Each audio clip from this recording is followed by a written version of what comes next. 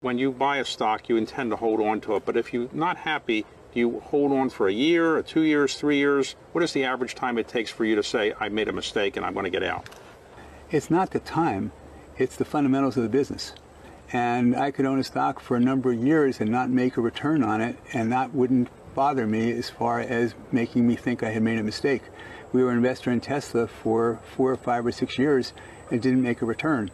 Uh, and then all of a sudden we made seven times in, in a year. So it's not the time that does it, it's the fundamentals.